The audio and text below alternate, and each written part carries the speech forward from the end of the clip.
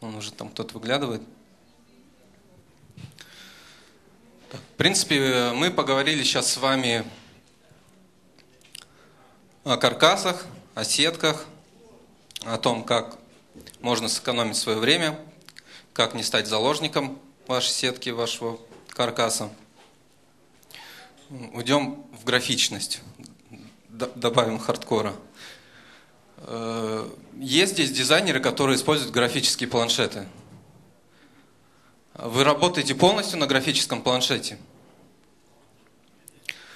Э, всем дизайнерам советую пользоваться графическими планшетами. Исключительно графическими планшетами, э, а не только открывать Photoshop и брать планшет.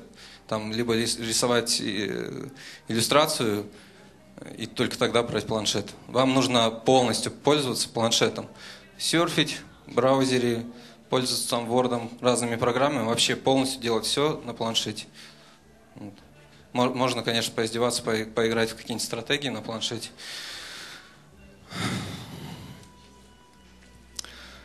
Э, если вы решили купить себе планшет и полностью перейти на него, вам нужно покупать ваком, э, любой ваком, там, бамбу или там интуос, но только исключительно ваком, потому что любые другие графические планшеты, э, там, Genius вроде там были какие-то планшеты, еще какая-то какая фирма, тоже. Но это все такая ерунда. У меня был такой похожий планшет, что мне давно еще на работе там купили планшет, я э, на него полностью перешел, хотел э, дома работать тоже на планшете.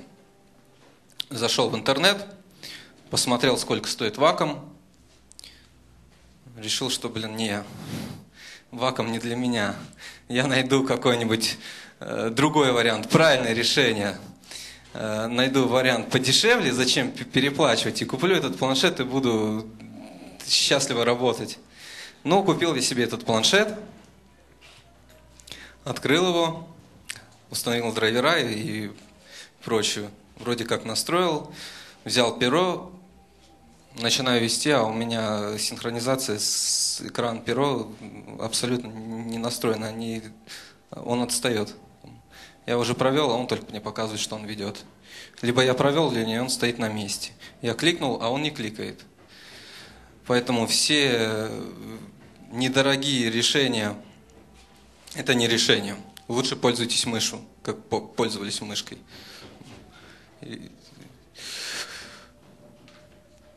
Размер.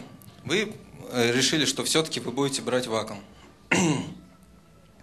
Все, открыли, смотрите ваком. Видите размеры поменьше, видите размеры побольше.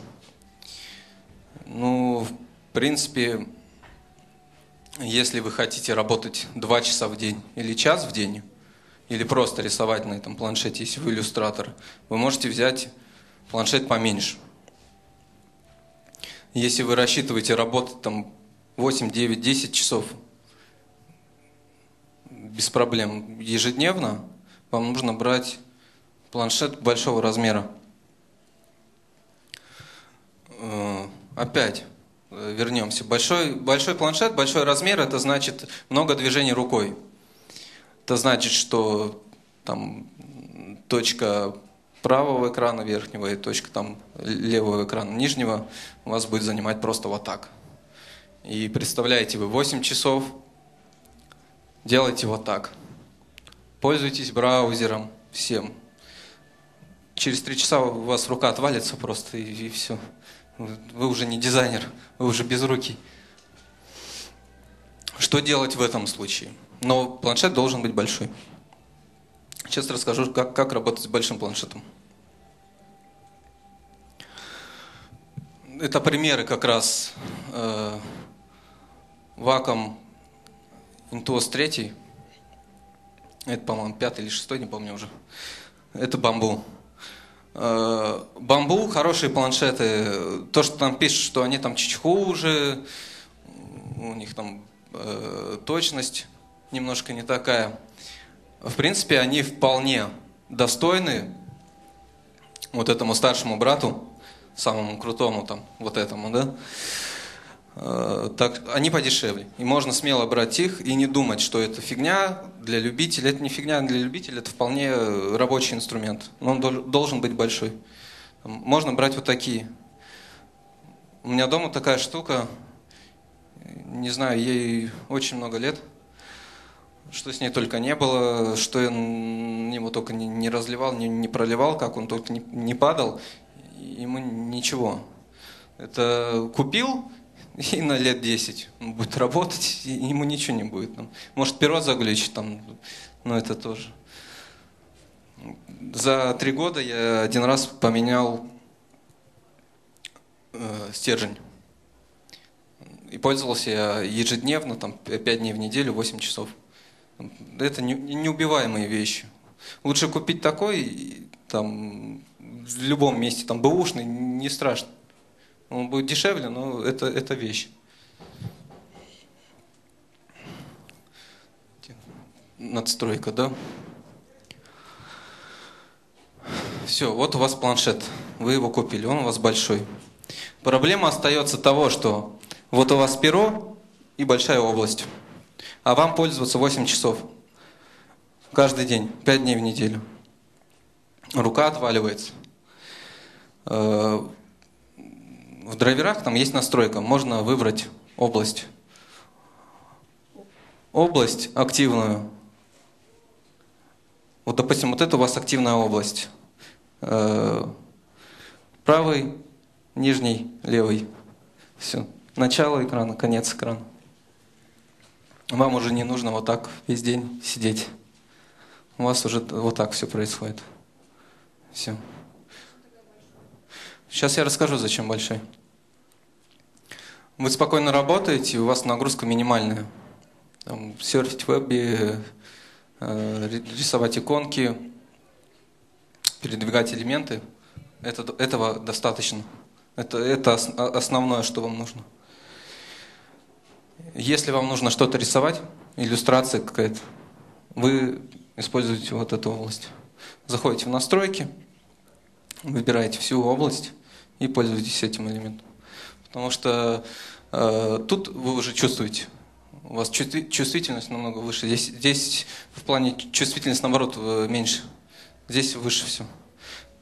Здесь вы уже можете вот так все делать, рисовать спокойно, оставлять автографы, смотреть, как красиво вы пишете на мониторе. Э, почему большой, но маленькая область? Когда у вас маленький планшет, можно взять просто маленький планшет, там будет вот такая область, и вы будете, ну, этого же достаточно. Я, я не, не рисую иллюстрации, мне это не надо. Недостаточно, потому что вы можете поработать на нем 2 часа, 3 часа. Э, дальше будет сложнее, потому что сам планшет меньше, кисть у вас вот здесь начинает свисать, все это начинает болтаться, места мало, кнопки, кнопки вообще там тоже рядом. Клавиатура кажется огромной теперь. Тянуться до клавиатуры с этим маленьким планшетом получается все так. Поэтому маленький планшет это не вариант. Если вам нужно уделять там дизайну 2 часа, то, пожалуйста, пользуйтесь маленькими планшетами. Если вы хотите работать 8 э, часов с большой нагрузкой, вам нужен обязательно большой планшет, обязательно большой планшет. Ну, работайте в, в этой области. Потому что вы сидите, ваш, ваша рука как раз направлена так, и вот здесь у вас спокойно, у вас свобода движений. Вы не скованы. На маленьком вы скованы. Все очень близко. Когда, допустим, рисуете какой-нибудь натюрморт, берете большой формат, там, А4 или А3. Допустим, у вас А3 большой. Вы сели, сидите, вот у вас рука, она летает. Допустим, вам комфортно, ваши линии становятся ровными. А, ничего не трясется, нет никаких там изъянов. Здесь то же самое. Никаких проблем, никакой скованности, э, стопроцентная нагрузка, там 8-10 часов можно работать каждый день. Поначалу будет болеть кисть, ну это как в школе много пишешь, начинает или в университете, рука болеть. Попишешь, там час, тут, тут еще быстро диктует, ты такой сидишь.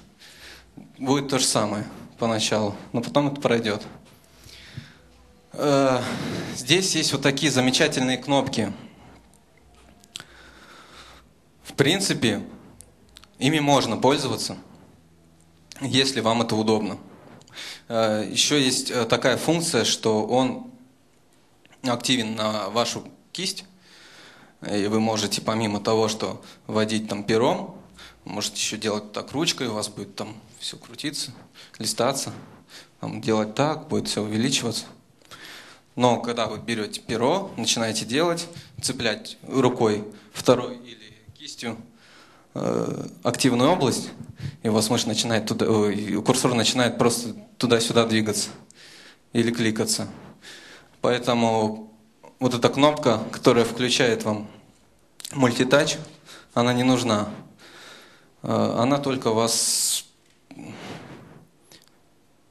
вам, вам с ней становится намного хуже и неудобно. Начинаете злиться, беситься и думаете, что планшет не для меня, я возьму мышь. Есть тоже здесь кнопки разные. Колесо, ринг, тоже там скролл, там fade in, fade out, э, увеличение. И, и возможно, что это вам пригодится. Э, но у вас есть там горячие клавиши в Photoshop. Там если вы не пользуетесь горячими клавишами в Photoshop, вам не нужна клавиатура, вам этого достаточно. Если вы пользуетесь горячими клавишами, забудьте проще про эти кнопки, потому что вы будете туда-сюда ползать. Здесь у меня эта кнопка, а там у меня эта кнопка.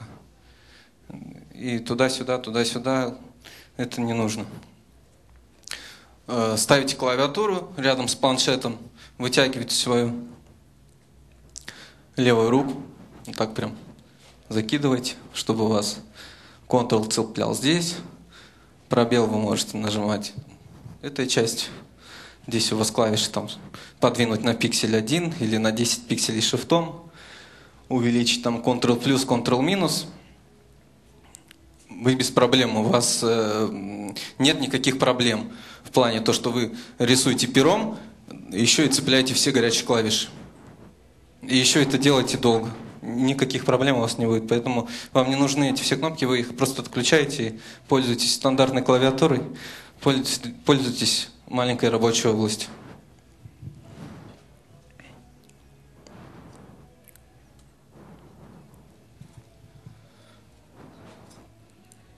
Есть настройки перо-мышь. Это, если перо, это значит, вы ставите Э, свое перо, там, верхний правый угол. Курсор передвигается на верхний правый угол.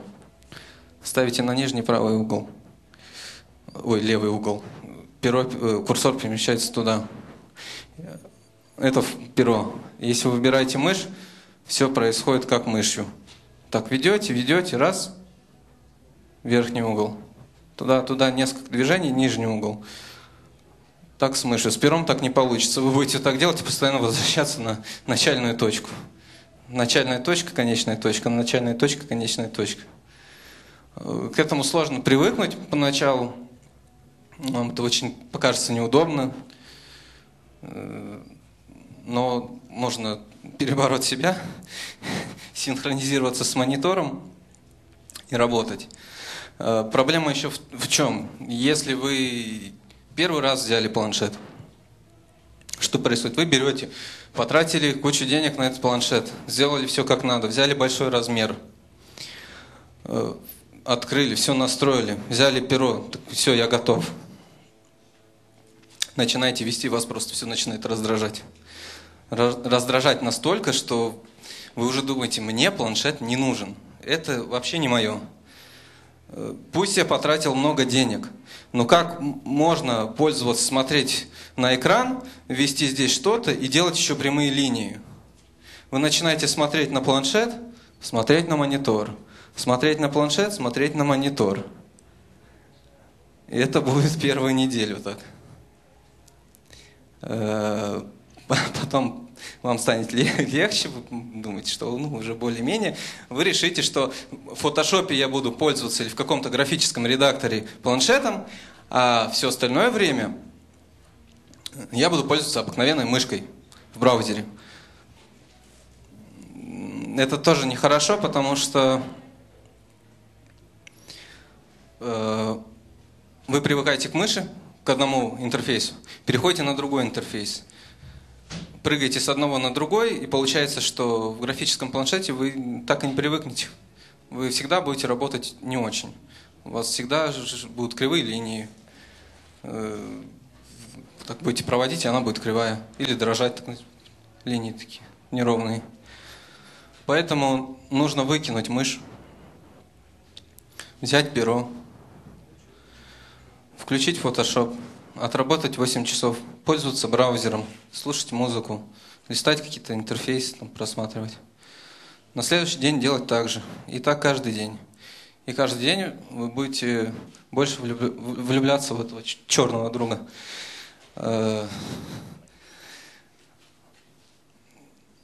Потом, через два месяца можете взять для примера мышку свою любимую, отключить планшет, взять мышь и попробовать и попользоваться ей. Вы почувствуете, что мышкой все намного дольше и сложнее. Не в плане то, что там сложно сделать прямую линию или там кривую линию, или кого-то нарисовать. Э, вам нужно затрачивать больше энергии. Если здесь вы просто туда-сюда рукой вот так делаете, даже не двигаете полностью рукой, просто кисть туда-сюда болтается, то мышка у вас получается так, так, так, так, так, клик, еще кликать надо пальцем. Уходит времени намного больше. Поэтому нужно переждать, перебороть себя, подождать месяц, и потом все будет хорошо. Про мышку вы уже не вспомните. Здесь вот как раз я показываю, что настраивается область. Вот у вас планшет, вот у вас область вся. Вы настраиваете маленькую область для себя. Вот. Область экрана это полная, вот она область экрана. Или двух экранов, там неважно.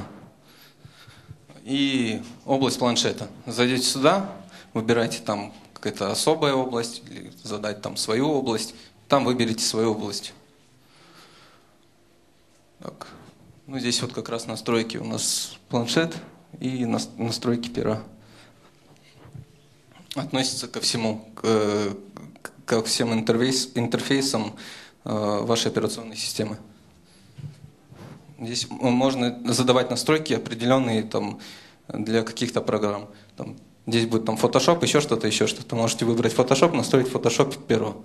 Там э, браузер будет или э, операционная система там основная, там выберите там мышь, как хотите.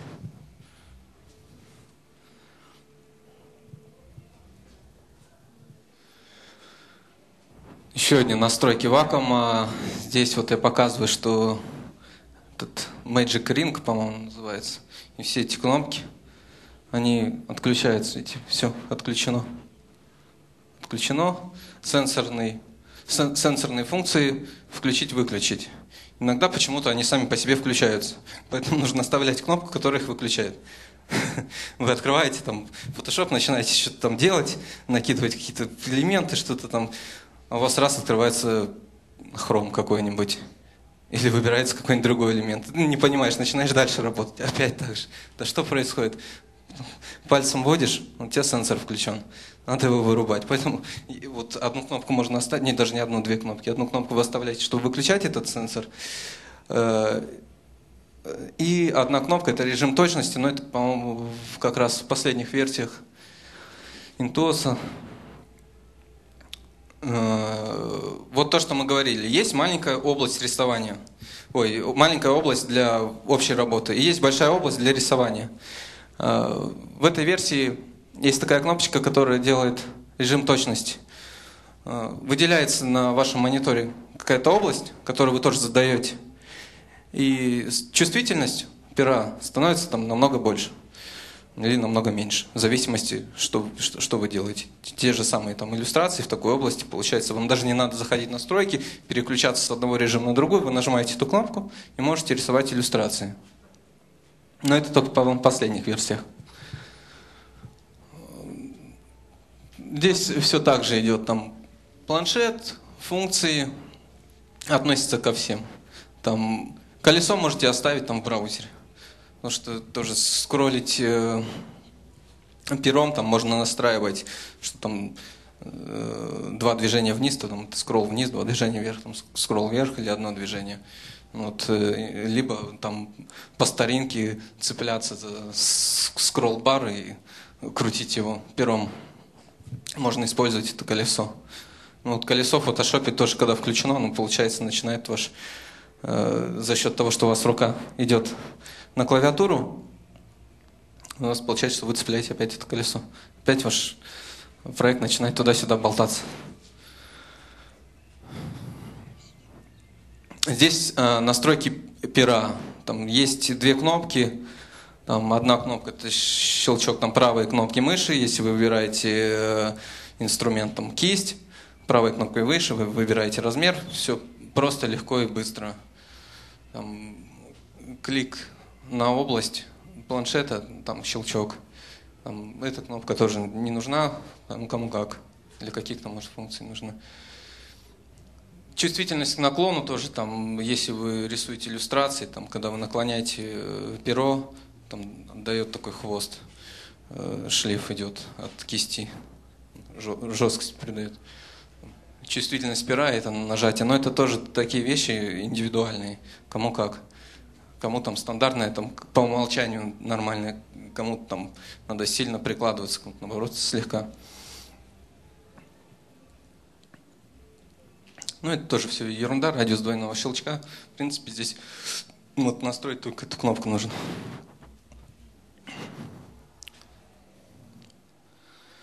Ну, это то, что я говорил. Продержись один месяц и забудь про мышь. Ну, ощущение такое будет. Что вот вы пользуетесь, да, на графическом планшете? Ну, вы полностью, да, пользуетесь? Мышку вы не берете в руку. Э, никак не идет уже, да?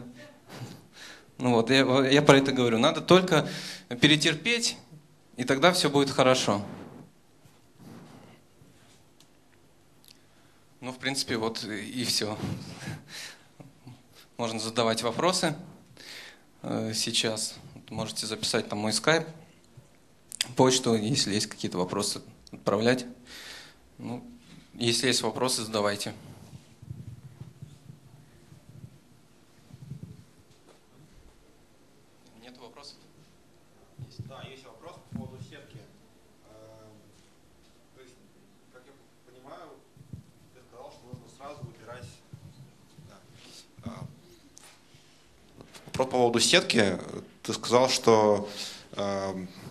как только у тебя есть ТЗ, да, ты должен понимать, какая сетка у тебя будет. Может быть, у тебя есть какие-то хинты, там, советы, там, типа, ну, там, для flat -дизайна мы выбираем 16 блоков, там, или, не знаю, что такое? В ТЗ обычно написано, что у вас будет, и вообще, что это за проект там новостной, социалка, визитка или прочее. Э, там обычно закладывают там э, какие-то элементы, э, вы должны понимать, почему там сетка вам позволяет там что-то делать. Если у вас новостной, да, вы берете спокойно там это 4 блока, да. Сейчас модно делать там эти плитки, там не структурировать, там одна за одной, неважно она там какая по величине, там высокая, низкая. Поэтому вы уже понимаете, какая вам нужна сетка. Если у вас есть какие-то мега огромные баннеры, или у вас там э, сайт там, какого-то ресторана, там, вы понимаете, что вам не нужна плотная сетка. Потому что чем она плотнее, тем плотнее все элементы будут. А вам там не нужно, вам наоборот надо показывать большие красивые картинки, большие титлы, э, красивые иконки тоже, опять же, большие, все, большие расстояния, все хорошо, воздушно и красиво. Поэтому читая ТЗ, вы понимаете, что это за проект. Вы понимаете нагрузку на этот проект, и вы понимаете примерно, какая вам сетка нужна по плотности и э, востребована вам там адаптивная верстка. Нужны вам эти четыре блока или вам вообще это не нужно. Поэтому вы, в принципе, должны понимать, э, какая у вас будет сетка. Поэтому э, неправильно открывать или брать готовую сетку даже предыдущего проекта – ну, даже не, не читая там ТЗ или там, ну, сойдет. Нужно все равно взвесить и посмотреть, действительно подойдет она. Э, начертить эту сетку, да, вот ну, э, на, на этом плагине. Взять какие-то графические элементы, те же самые баннеры, и смотреть, там, помещается этот баннер или нет. Если не помещается, нужно что-то переделывать. Нужно передел, переделывать эту сетку. Под то именно, что вам нужно. Поэтому тогда у вас не будет потом проблем. Будете понимать. Еще вопросы?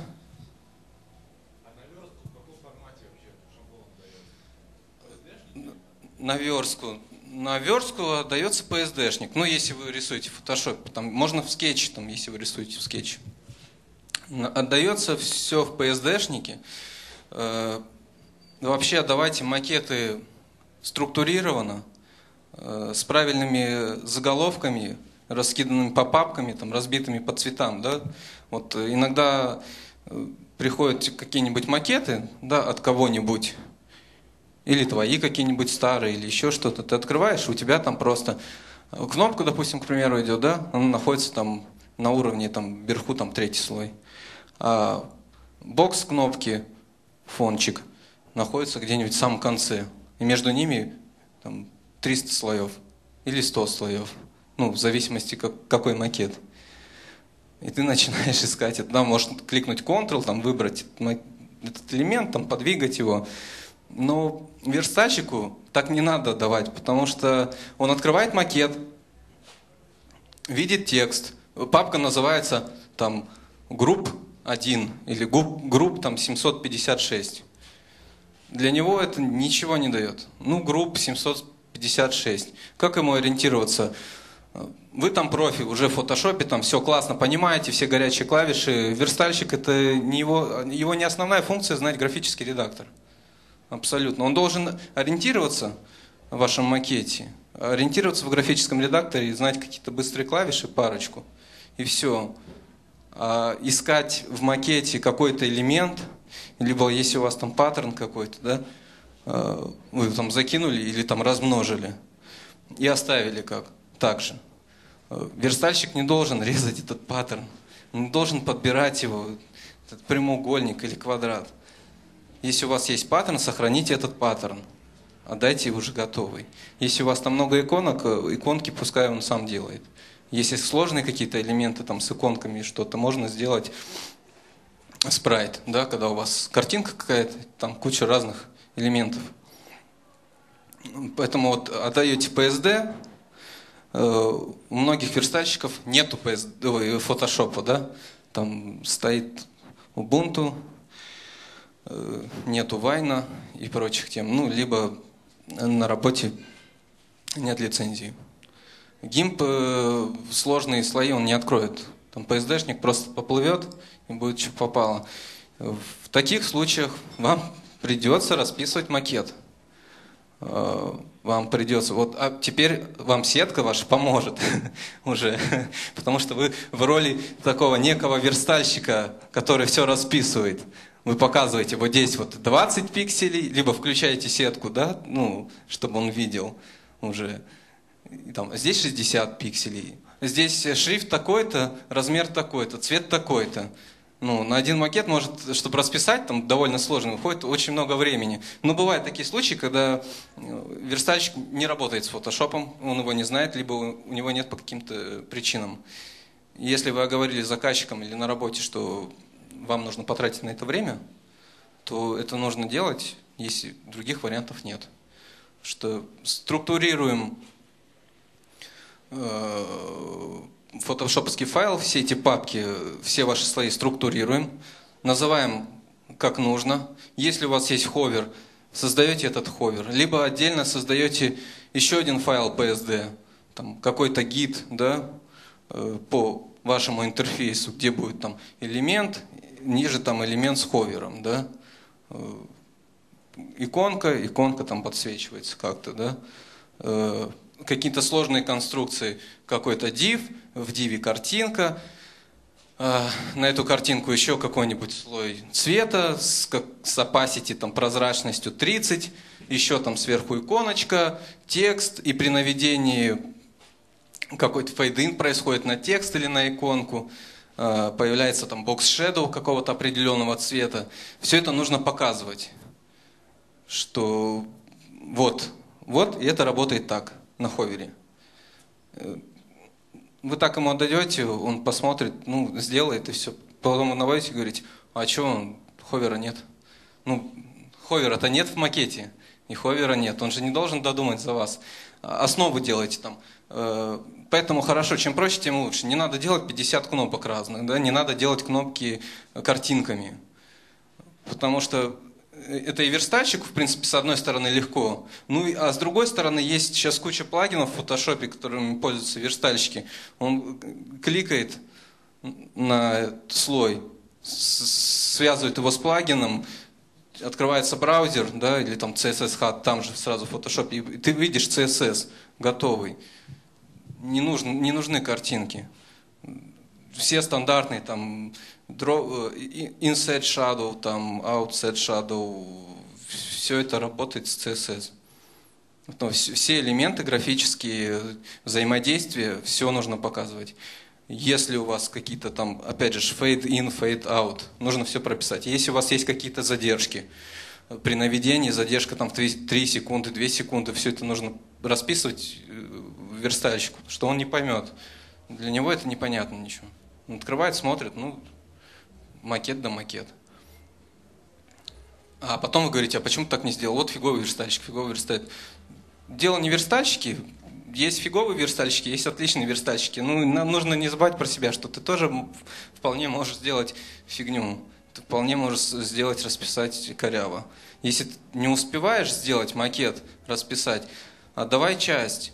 Ну, докидывай потом обязательно ховеры и какие-то взаимодействия, чтобы потом не было каких-то непоняток. Ответил? Еще вопросы?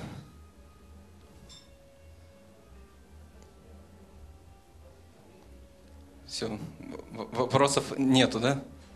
Ну, всем спасибо. Сегодня я первый раз даю лекцию, для меня это ново. Я такой неуверенный себе, но думаю, что вам понравилось. Мне было приятно с вами пообщаться. Всем спасибо, надеюсь, я вам как-то хоть помог. Всем спасибо.